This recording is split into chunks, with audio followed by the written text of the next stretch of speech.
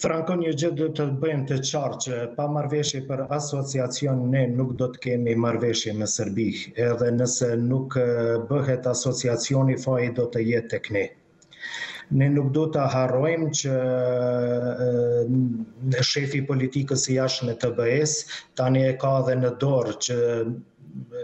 të shpall fajtor cilëndo palë për dështim të dialogut, edhe pastaj unë besoj që kur shpallet fajtor do t'i ketë edhe konsekvencat edhe sanksionet të cilat do të pasojnë. Në këtë rast, unë mendoj që gabimi nga qeveria e Kosovës ka qenë që nuk ka qenë proaktive në lidhje me asociacionin. Unë mendoj që deri më tani është dashur që të përgatitet një draft statut,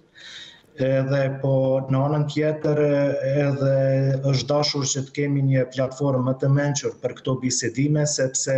çmimi i bërjes së asociacionit duhet të jetë zhbërja e gjitha strukturave paralele të Serbisë të cilat veprojnë në Kosovë, Ne realisht kemi kosovranitet të Serbisë në vendin tonë, meqenëse një pjesë e konsiderueshme e institucioneve të këtij shteti veprojnë në territorin e Kosovës, edhe nëse këto nuk zhbëhen dhe bëhet asociacioni ne do të jemi në një pozitë shumë të vështirë.